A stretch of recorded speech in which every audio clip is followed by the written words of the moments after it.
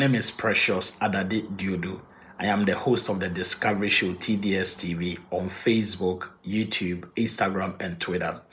The Discovery Show TDS TV is a show that seeks to interview professionals in the diaspora and beyond who are making significant impact in the area of politics, religion, academia, and the likes.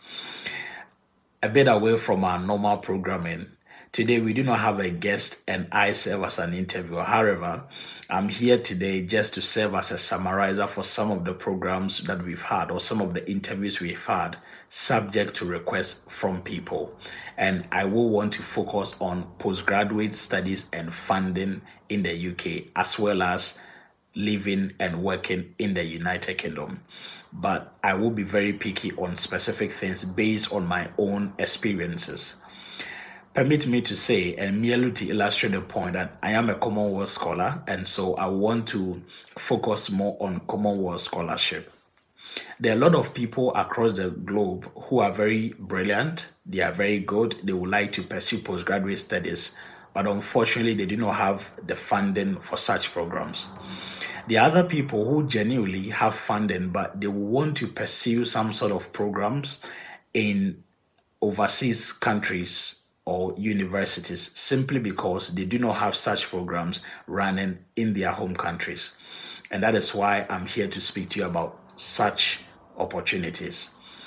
Now, we have a group of countries numbering 54 that we call Commonwealth countries. And most of these countries are former territories of the British Empire. And we have about 30, uh, 19 of them from Africa. We have eight of them from Asia. We have 13 of them from the Caribbeans and Americas. We have three of them from Europe, as well as 11 from the Pacific. And all these number 54, and they form the Commonwealth countries.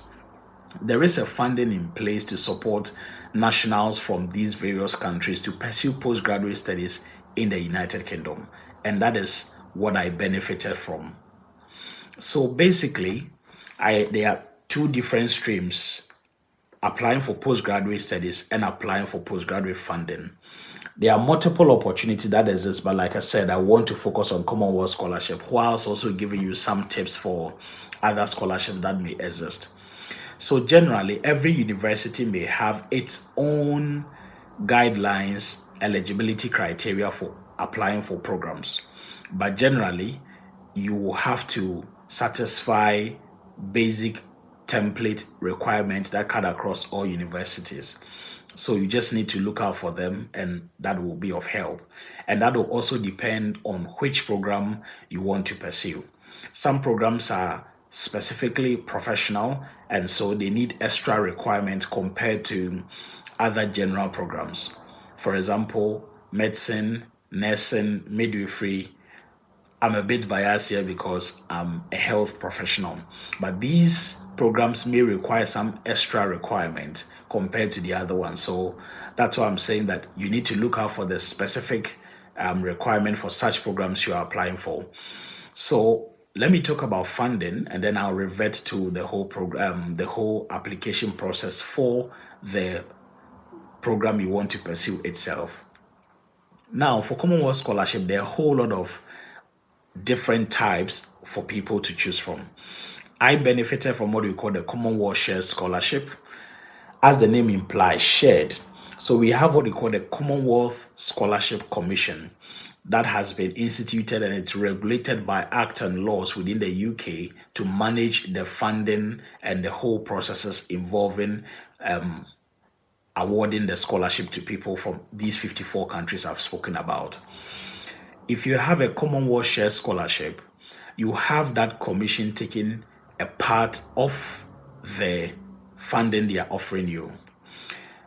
But we also have a number of UK universities that bid and collaborate with this commission to ensure that they also take part of that funding.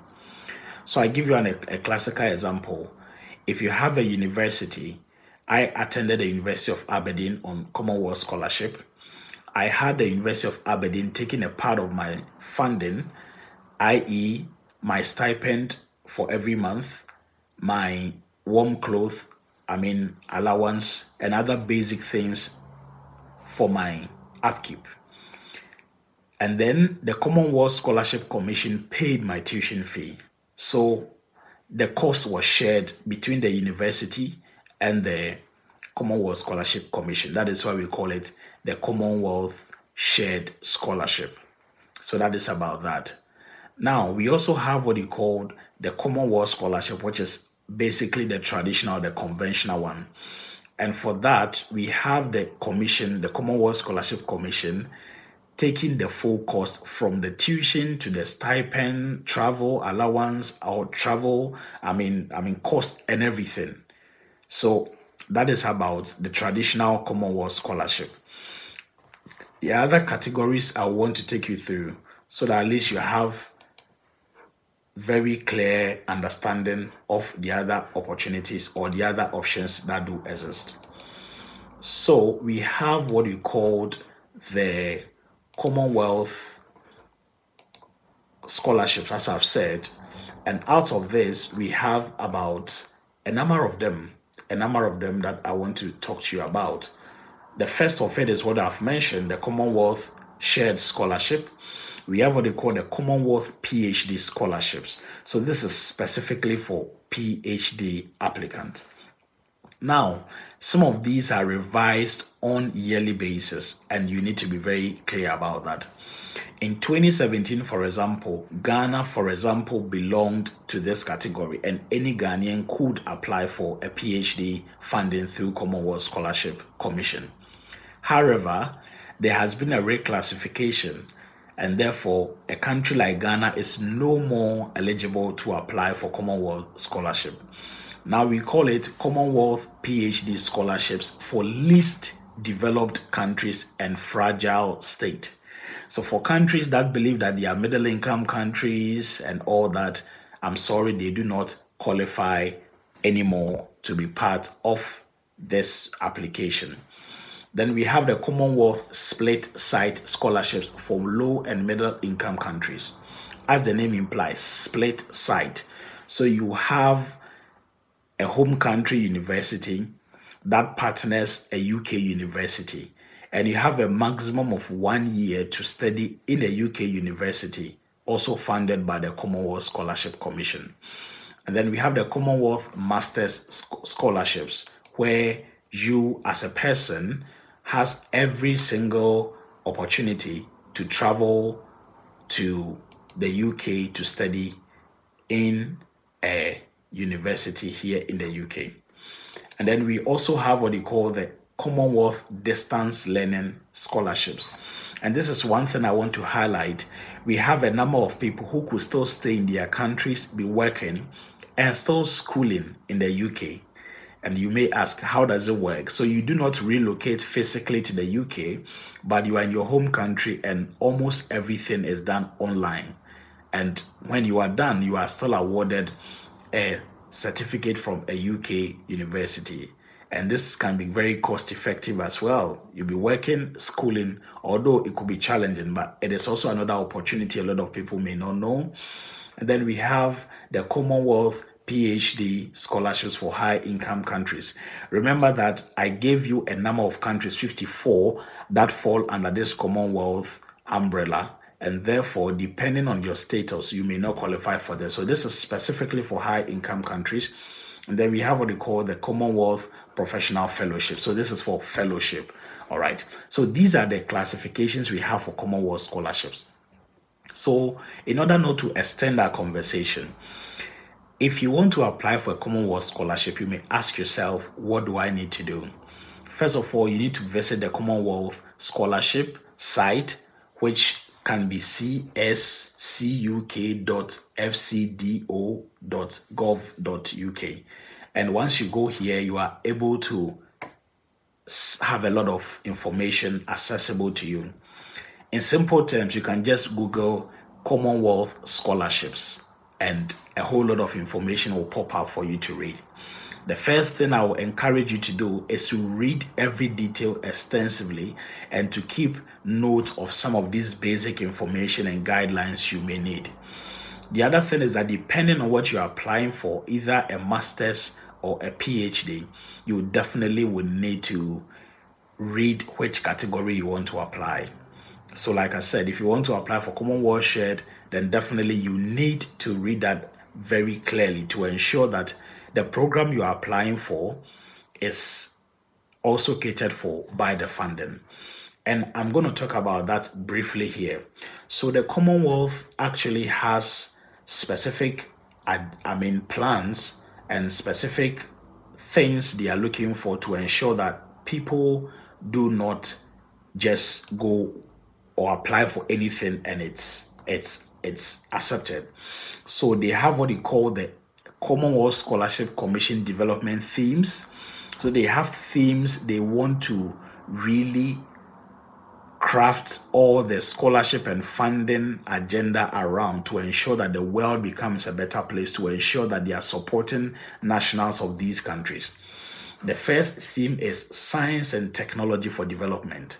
So, under science and technology for development, we have a number of programs that fall under this category. So, depending on which program you pursued or you want to pursue, then you know whether you fall under this category or not. I am a healthcare professional, and so whilst I was applying for a postgraduate studies, I fell under the second option or the second theme, which is strengthening health systems and capacity. The third one is promoting global prosperity. The fourth one is strengthening global peace, security, and governance. The fifth one is strengthening resilience and response to crisis. And the last one is access, inclusion, and opportunity. So most universities that have partnered these, I mean, have partnered the Commonwealth Scholarship have specific programs that fall under these scholarships. So I give you an example. If you take a university, a UK university, within the university, you may have a program like, say, Master of Public Health, and that may be the only program that is funded by the Commonwealth Scholarship. So if you want to apply for a Commonwealth Scholarship, then you go and check that university and compare that with other universities that are offering the same program. And that goes a long way to suggest that before you even start the process, you should have a fair idea of which programs you may want to apply for. And that will guide you to go through the Commonwealth scholarship document to see which universities offer such programs and as to whether they cover or they are covered by the funding. So it's very critical. Selecting which specific postgraduate study you want to pursue is very critical because you may have a postgraduate study, say masters in a, a course which you really want to pursue, but it may not be covered by the Commonwealth scholarship. So you need to know which one is covered by that. And based on that, you are able to take it from there. The second one is that, or the second point I want to make is that now remember that the ad- admission process for a place in a university is different. So you apply for, say, a Master of Public Health in a university. The process is independent of the scholarship application. So you need to get an offer from the university. Most times you have a conditional offer depending on your your documentation and everything. You may be required to um, submit a documentation for um, International English Language Testing System, which is what we what we call IELTS or IELTS. So if you do not have that, some universities will require that you write that. So they give you a conditional offer, and that is once you are able to submit a result that shows that you've really passed your IELTS, then you are issued an unconditional offer letter. So that is about that. But at least you need a conditional offer to be able to apply for this scholarship. Once you have a place, you apply for the scholarship and you ask yourself, what do you need to apply for the scholarship? The very basic things you may know. Your certificate, so that is if you have just completed your undergraduate studies, you need your certificate for the undergraduate studies, you need your transcript, and almost all the scholarships will require that at least you have a second class upper. at least a second class upper. That is not to say that if someone has a first class and someone has a second class, automatically they will choose the first class person. It does not necessarily work that way. There are other things that feed into your application. I'll touch on that in a bit. So at least you should have a second class upper and that enhances your chances of you securing a scholarship. That is just one of them. Remember that I said 54 countries. So assuming that you are applying for a particular program in a university and you have let's say a minimum of 100 people across the world within these 54 countries applying for the same program, just 100, it tells you that at least it is even competitive. And we have most programs that you have only one slot available. So you may have 100 people 200 people 300 people as many people as you can guess or think of applying for the same one slot within the university that means that your records your documentations should definitely be strong enough to be convincing and remember there's no intermediary there's no third party here to tell or to for you to some scholarships offer opportunities for interviewing and we I'll talk about that um, in another episode. And even within the Commonwealth Scholarship, depending on some of the programs, some offer scholarship um, interview opportunities for selected candidates to justify the reason why they should be on the scholarship. And sometimes it is also program dependent. So a whole lot of things go into this. Reverting back to what I was talking about. So you need your certificates, at least a second class upper. You need your transcript, and then you need what you call personal statement or certificate, sorry, statement of purpose or personal statement. Here, I will be a bit hard and blunt to say that a lot of people who are coming from humble homes will usually want to push so much information into how they are not able to fund themselves because they are coming from poor backgrounds, because a they've lost a relative or a parent who was a breadwinner, and how they themselves are breadwinners, but they are still not able to push harder. I mean, from the face value, clearly it should be the reason why you are applying for it. But you should put just a little of that information in your application if I would suggest to you you need to spend so much time talking about what you have done, the experiences you've gathered over time, what you're already doing, and how this funding will go a long way to build your skill set, your knowledge base, to be able to make greater impact on return to your home country. So these are the things you need to highlight. Now, whilst people are in the university, so especially for people who are yet to complete or they are still in the universities, but they may benefit from this, especially for the future. If you're in the university, don't just focus on the books. You may want to indulge yourself in extracurricular activities, leadership positions, volunteering works, and these are the things that go a long way to solidify or make your application a strong one they look very simple, they look unacademic or non-academic, but these are the real things that go to strengthen and set you apart compared to your other colleagues.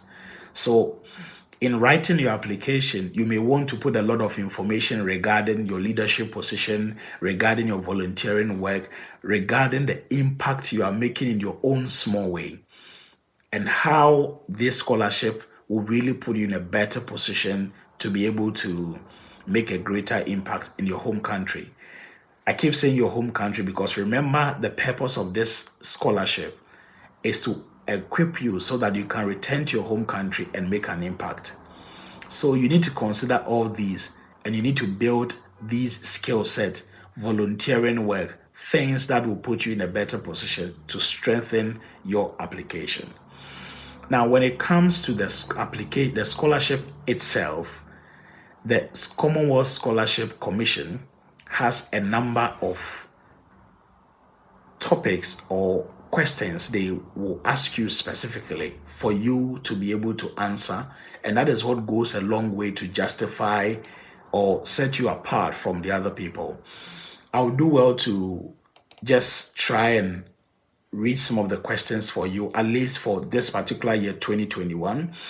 Some of the questions they asked was the first one was how my proposed study relate to development issues at the global, national, and local levels, and how my proposed study relate to development issues connected to my chosen Commonwealth Scholarship Commission development theme and the wider sector. And you are supposed to write just 200 words under this particular topic. So it means that you need to be succinct, you need to be clear, you need to be concise, you need to be straight to the point and have valuable information to offer. Just 200 words, but they require very impactful statement from you in this regard. So that is the first one. The second question they ask is do you intend to apply your new sorry how do you intend how do you intend to apply your new skill and qualification when you return home and this is 100 words. So then again you need to be someone who is very good at summaries and i'll talk to you about how to improve your write-up or your application. But this is just 100 words. How do you intend to apply your new skill and qualification when you return home? The third question is what you expect will change in development terms following your studies, including the outcome that you aim to achieve, the time frame for their implementation, and who the beneficiaries will be. And this is just 250 words. 250 words. The next one is how the impact of your work can be best measured. So after your scholarship, you are returning to your home country, you're going to make an impact. You are projecting which people are going to benefit, how that is going to be done, and all that. And they are asking you, how can we measure your impact? So you need to tell them if you are going to make an impact in the life of patient, how would that be measured objectively? That is what they're asking you. I need to answer this in 100 words. The next one is your career plans. So they ask you to describe the skills that you expect to gain from this scholarship and your career plans once you return home afterwards. And they ask you your objectives during the award. So once you are given the award for the one year or three years or four years, if it is PhD, then they are asking you to tell them what your objectives will be during the scholarship. What do you aim to achieve? And you need to write these in 250 words. Under the same thing, the sub question is what are your career plans in the next five years following the award? And you need to convince them in 250 words. The next one is your long term career plans, and you need to convince them again in 250 words. The next major question is what is your proposed study in the UK? So these are usually very basic one. The program you have chosen, which university, the details of the university. So that one is not something that is magical. You just need to state what you have applied for. That is especially if you already have uh, an offer, either conditional or unconditional. The next one is your proposed study in the UK. So you're going to tell them about your study outline, and this is usually about the course structure for the program you have chosen and you can get a lot of this information on the university's website on the particular program you've applied for you need to provide a detailed plan of your proposed study. The selection panel will want to know or understand why you have selected your proposed courses and universities. You should remember that although the selection panel will be well informed, they are not likely to be specialists in your subject. So describe clearly why you have chosen your proposed courses and universities and why you want to undertake this study in the UK. What is what is it that you are looking for in a course and how you're chosen course relate to your objectives? Remember you've stated your objectives earlier. So how the proposed course will relate to your objectives. And the other one is any dissertation topic you have in mind and you have to convince them in 300 words and then the other thing is for this year, they ask list three keywords that summarize your proposed study. And then the final bit is your personal statement or your statement of purpose. And it says summarize the ways in which your personal background has encouraged you to want to make an impact in your home country. You should indicate areas in which you have already contributed, such as having overcome any personal or community barriers to higher education. So, this is what I was talking about earlier. You need to touch more on what you have already done, the impact you've made in your own small way. Never assume they are looking for a big thing. You just need to let them know how you are making an impact in your own small way. It could be something minor in the area of work, where you live, and all that. But your volunteering work, your proactiveness may have identified such problem and you may have taken steps to resolve it. And that is what they are looking for. So you need to be very objective, open minded, and look out for things. And then the other bit is voluntary experience and leadership. That is the question eight they have asked. Remember, some of them were sub questions, but the major question is as voluntary experience and leadership. And it says, summarize the ways in which you have engaged in voluntary activities and the opportunities you have had to demonstrate leadership. This is very, very critical to your application. So remember, you've never played any leadership role. And leadership role here doesn't mean you should be a student representative council president, not necessarily. It could be a class representative leadership. It could be that in your own way, you have a group of people that you lead. Leadership is very, I mean, broad. So don't restrict yourself to having a high level leadership role. So just capitalize on any leadership role you've held throughout your school, and that will be of great help to you. As you can see, if you don't have any of this, if you haven't done any voluntary work, then you will be tempted to write some things that you haven't done. So you definitely need to be engaged in these things. And that is not only whilst you are in school, but even after school. And if you are in school, please capitalize on this and put up some put in some work towards leadership position, and also extracurricular activities. All right. And then the last bit is if you have any publication, you could put in there. So these are the questions they ask. And to be frank, aside your certificate, your transcript, and all that, this is really the main thing that separates you from other people who are looking for the scholarship. This is the real deal how convincing these statements they have specified for you will be to them. That is what will make you a favorite candidate over the other people. And that's why you need time to go over these over and over and over again. That leads me to the next point I want to make that once you have written this, first of all, give yourself ample time to be able to write these summaries ample time. So if the application is going to open sometime in December, you need to give yourself time and most times this template will be same with minor changes sometimes, I mean, over the years. But most times you have this similar template.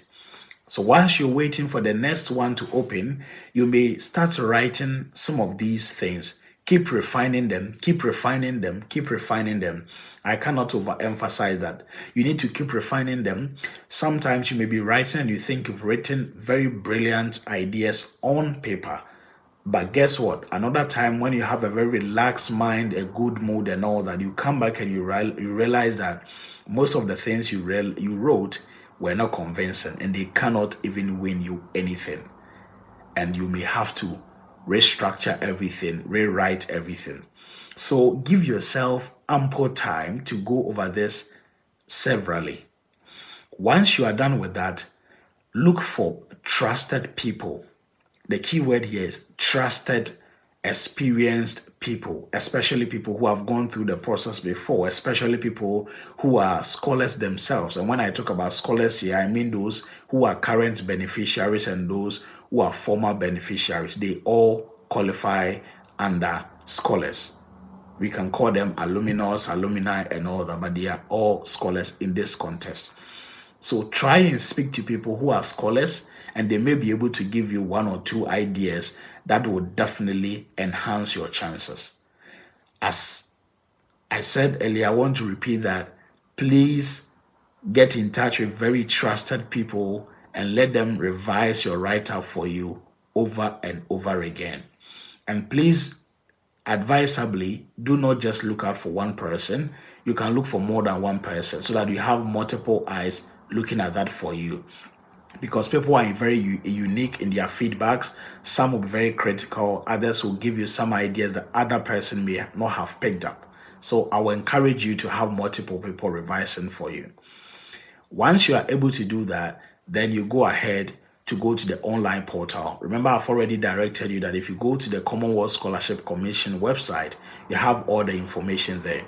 And then once the application process is opened, there's an online portal that leads you to the website and you are able to make your application. The application is very friendly, such that user friendly, such that you can log in and log out multiple times. You don't need to complete it in one setting. So you can start today, but even finish it in a month's time. You go in there, refine it over and over again, over and over again, and before you realize you have a solid application. And then you can submit, and it goes through a review process. The university may nominate you, by which time they will keep you informed that you have been nominated. Once you are nominated, it needs to go to the Commonwealth Scholarship Commission for approval.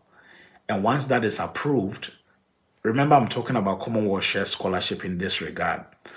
Once that is approved, then you are notified of that and the processes begin or begin sorry once the processes begin you are going to be sent document from the commonwealth scholarship health and disability forms and all that with also your award letter with all the details your unique cs when i say csc it means commonwealth scholarship commission reference number that is unique to you and that is what you use in all your correspondences and your application process. And depending on which country you are, you may be required to do a TB test to get a certificate for that. You may be required, of course, now we are in a COVID period, so you may also need a COVID test whilst before you travel. But once the application or your, your scholarship is confirmed, they issue you the award letter, the financial support, letter of financial support, and confirmation of financial support. And that details exactly what you need or what they are going to have for you. I'll do you the uh, favor by reading one of the awards for this year. So, this is an example of a Commonwealth Shared Scholarship. Remember, I am a Commonwealth Share Scholarship beneficiary, so I'm a bit biased with that. But for this, the Commonwealth Scholarship Commission pays for the flight to and from the UK. So if you are in any country, they'll pay for your flight to travel to the UK, and after your studies, they pay for your flight to go back. The other thing is your tuition fee, and the tuition fee varies depending on your program and the university, so that is not fixed. Then we usually have a steady travel grant, most times about 200 pounds that you can use to travel to wherever you want to go within your tenure of award to ensure that you're able to gather some experiences, knowledge in line with what you are studying. We also have what we call the thesis grant. That helps you if you need to whilst you are doing your thesis or some call it dissertation at the end of it, you'll be able to also help or as, be assisted to gather your data and any other thing you may need. And then we have the university. Remember, this is a Commonwealth shared scholarship. The university will be paying for warm clothes allowance and they'll be paying your monthly stipend. Depending on whether you are in London and its environs and other places, it may differ. If it is in London, then your rate or your monthly stipend will be a little higher compared to the other places because the cost of living in London is slightly higher. And then if you're in the other places, you may take a little lower, sometimes around 200 pounds lower than the rate for London. I wouldn't want to mention the specifics, but basically that is the general information about that. So you are assigned a program officer from the Commonwealth Scholarship who lays with you and correspond with you, provide you with any documentation you may need. And once that is done, your university will help you with the process of applying for a CAS. And a CAS is confirmation of acceptance for studies.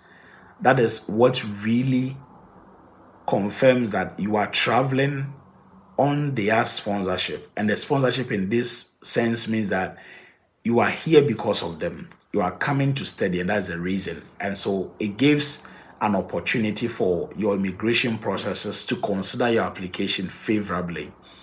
That is one aspect of it. So you get your CAS, and once your CAS is secured, then you are able to apply for your visa. Once you apply for your visa, now the Commonwealth Scholarship is doing so well by providing an opportunity for you to submit your details of your scholarship application to them so that they can also liaise with the UK Visa and Immigration Department and then they are able to facilitate your application. Remember that if you were traveling and self funding, you were going to provide a whole lot of documentation regarding your bank statement and any other thing to show that you are able to support yourself in terms of your tuition fees as well as your stipend and your living expenses. But because this is fully funded and the award letter spells this out clearly, you attach this to your application for the visa and that covers you. So technically, you don't need to pay anything. And the application for the visa itself you don't need to pay anything except you opt for um to get your your visa within a short period of time of which you will have to pay that yourself. But if you're going through the regular process you wouldn't have to pay anything. So it is really worth it if you apply for a scholarship.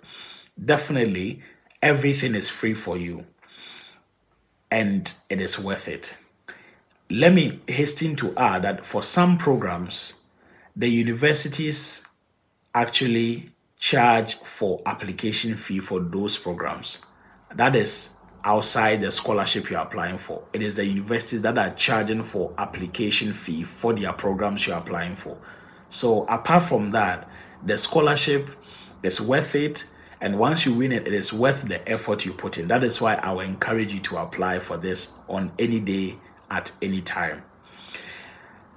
Because of time, I wouldn't want to go so much into the others, but I hope this has been helpful. Feel free to drop your comments, um, send us your questions, and we are able to address them where necessary. I'll switch to just talk about living and working in the UK briefly before I bring this to an end. So, as a healthcare professional, we I will want to talk to you about specific skilled shortage occupations for healthcare and education within the UK.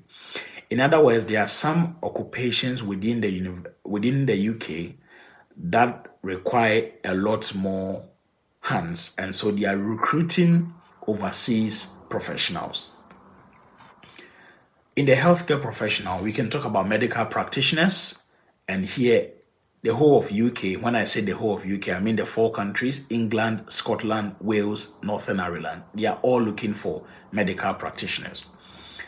They are looking for psychologists, the same four countries as well. They are looking for pharmacists, the same countries as well. Medical radio- radiographers as well. Health professionals not elsewhere classified. So we're talking about other healthcare professionals who do not fit into these things, these professionals I've already mentioned, and the ones I'm going to mention.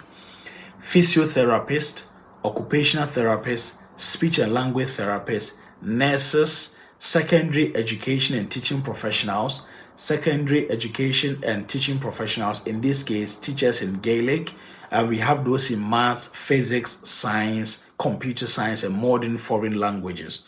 We have social workers, paramedics, nursing auxiliaries, and assistants. All these qualify or are classified as shortage occupations, and there is an opportunity for you to come to the UK.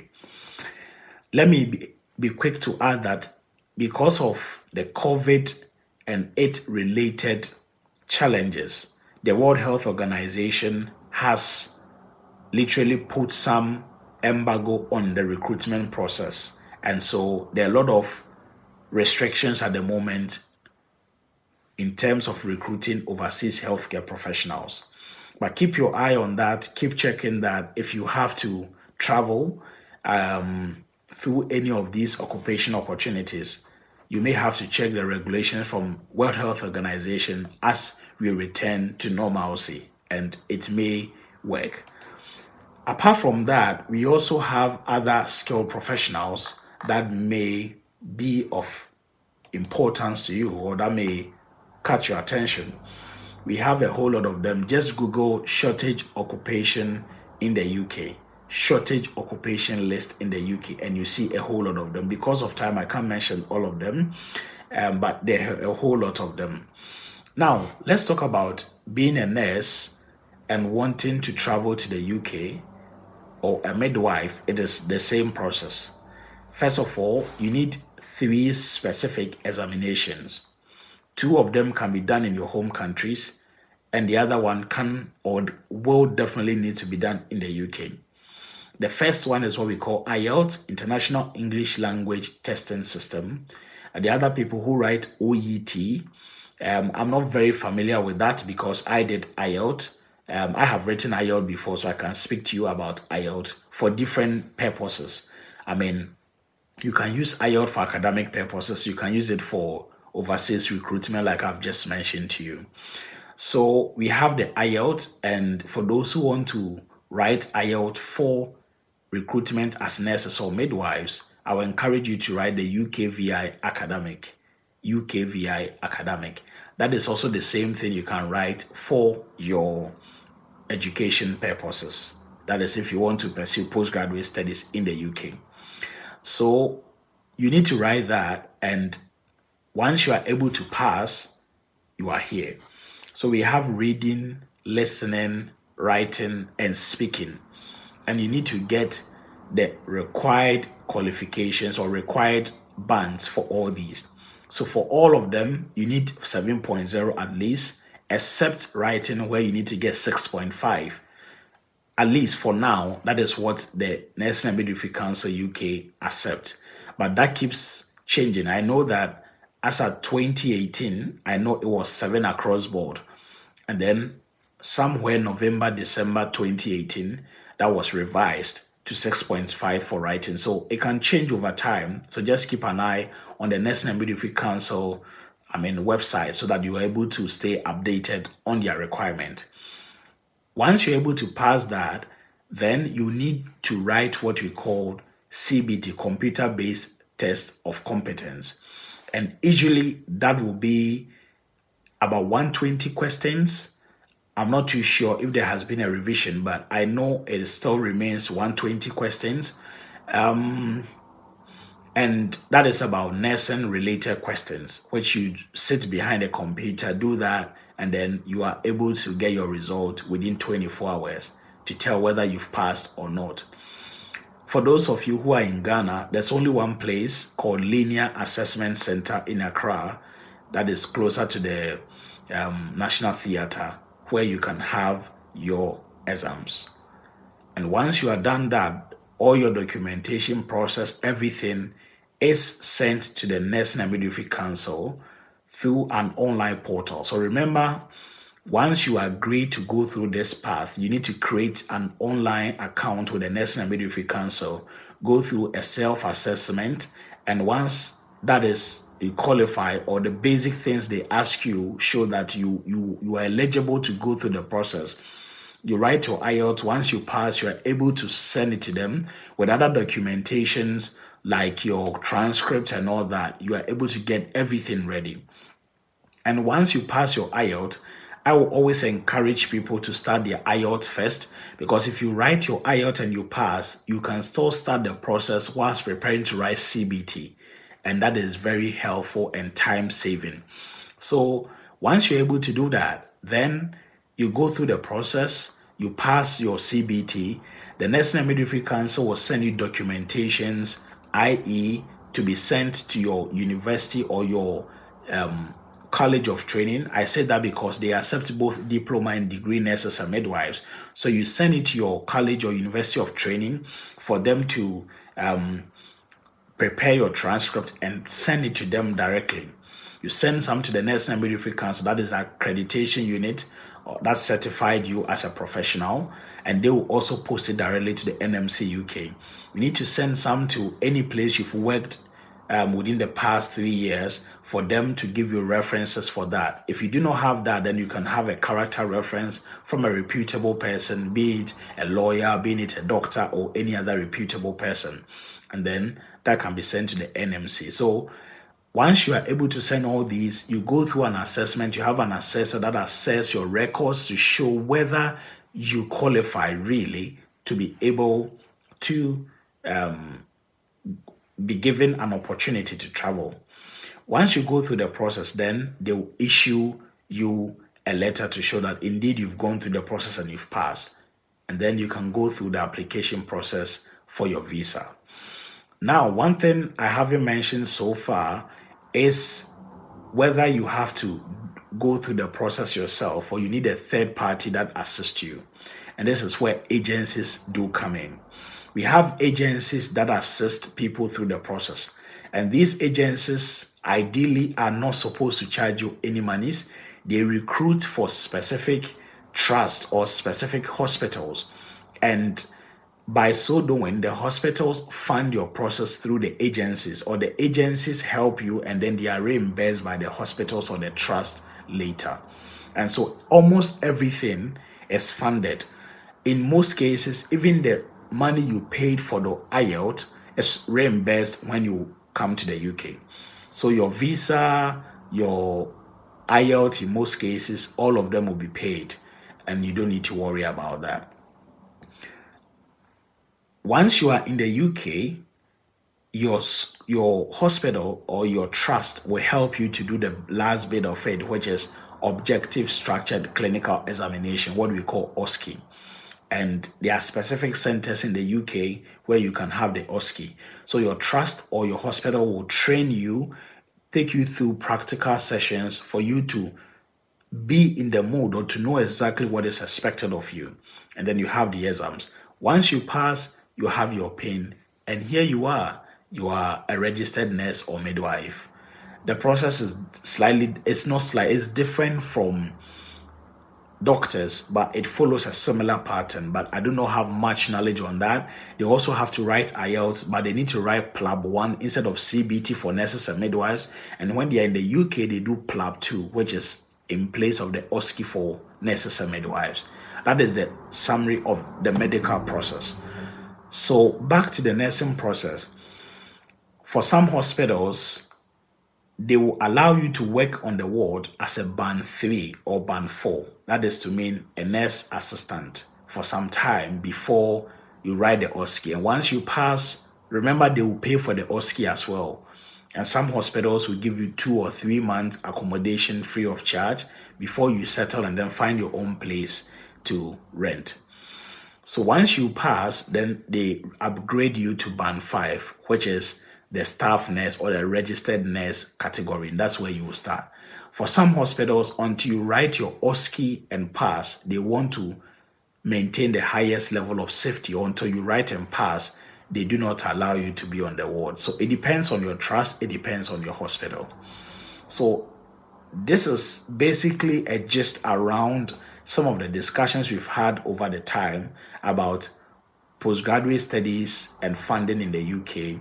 And I was biased about Commonwealth Scholarship. And even within the Commonwealth Scholarship, because of time, I was a bit biased towards Commonwealth Shared Scholarship. I've also tried to give a brief summary of the nursing and midwifery registration process and a bit of the medical process for UK recruitment. I hope this has been helpful. My name is Precious Adadi Diodu. I am the host for the Discovery Show TDS TV. Please follow us on Facebook and on YouTube. The name is the Discovery Show TDS TV. On Instagram and Twitter, it is at the Discovery Show underscore TDS TV. we have a whole lot of things installed for you. Basically, we seek to tap from the experiences, the challenges, the successes, and the journeys of the guests we interview so that we can learn from them, we can be fed with accurate information, and together we can rise. Thank you very much and stay blessed.